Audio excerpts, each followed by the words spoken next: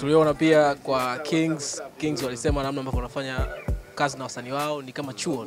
Ndio anakuja kujifunza then ata graduate ataondoka. Namna ambavyo Bad Nation inafanya kazi na Stars ni hivi. Sorry, rudia tena. Nasema tumeona baadhi ya labels zinatoa namna ambavyo zinafanya kazi na wasanii. Kwa mfano, Wasafi namna ambavyo wanafanya kazi na wasanii ni percentage na nini na nini, mikataba naingia kati, na hata namna ambavyo wakitaka kuondoka kunakuwa tayari kuna makubaliano mwanzoni.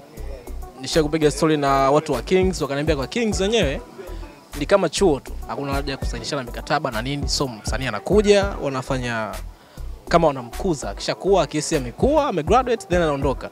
Kwa Bad Nation na Stars iko vipi? Uh, sisi tuna makubaliano kwenye kazi zetu.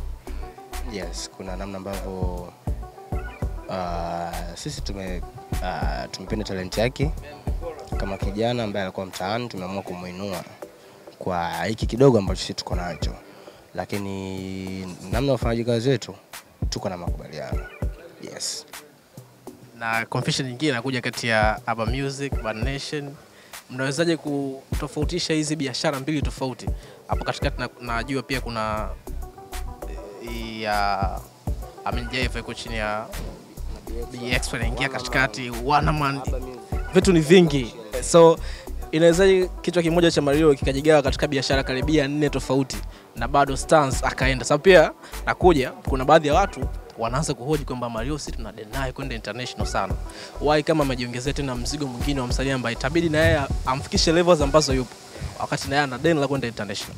Ah, mimi nafikiri vitu vyote viko ndani ya uwezo wangu, na hiyo safari yangu mpya nimeshaianza na spidi iliyokuwepo, unaelewa vizuri, passion ni ile ile, na hakuna kitu ambacho kitazuia kufanya maendeleo yangu kwenye, kwenye hilo, na niwahakikishie tu kwamba ndo kwanza spidi imeongezeka na utendaji, kwa sababu anapokuja kijana kama Stance hatuwezi kukaa wote tu hapo hapo, tuko sehemu moja, naelewa. Anakuja yeye atakaa hapo, mimi na replace, naelewa vizuri. Mimi na move nasogea mbele na vitu vingine, kwa sababu siku sitokubali, sitoweza ku, sio kukubali, sitoweza kukaa nipo tu hapa hapa, na unaelewa vizuri, niko na Stance, niko na Chino, niko na nani, lazima ni move. Kwa hiyo mimi pia hao wenyewe tunawatumia kama changamoto mimi kwenda kufanya kusogea mbele.